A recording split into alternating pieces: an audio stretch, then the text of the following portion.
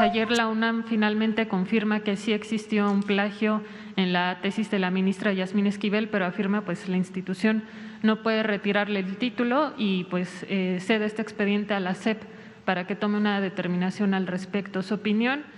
Bueno, vamos a ver nosotros, ¿no? Este se va a analizar. Este, sin duda, eh, independientemente del hecho mismo, del plagio, eh, si se llevó a cabo o no, independientemente de todo, está este asunto muy eh, vinculado a la politiquería. Porque de cuando acá les importa tanto la ética a quienes se han dedicado a robar. No sabemos, o sea, eso este, la autoridad competente. Lo mejor es de que la UNAM diga, ¿sí o no?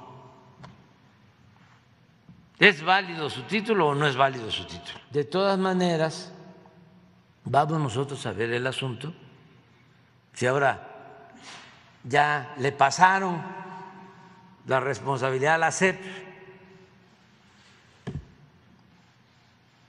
o sea, la pregunta es, ¿no pudo la UNAM resolver?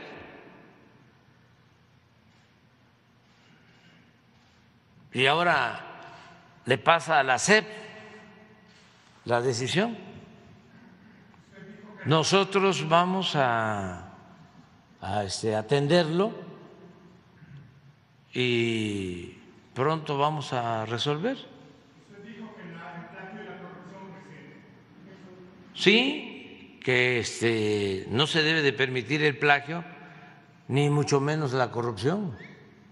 O plagio es corrupción, pues o es deshonestidad, porque es un concepto todavía más amplio. Este, la corrupción es robar, la deshonestidad es robar y ser incongruentes.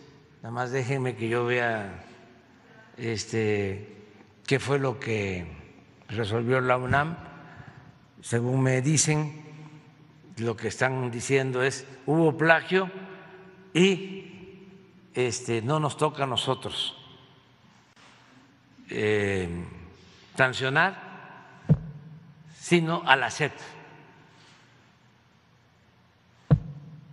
Como Poncio Pilatos, el rector, se lavó las manos pero claro que está metido, ¿no?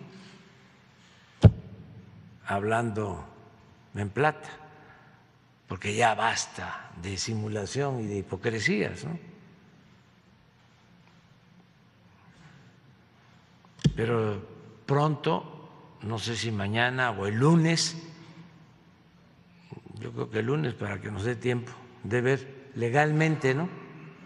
Cómo está la situación pero no vamos a evadir. Sí tenemos responsabilidad eh, el actuar.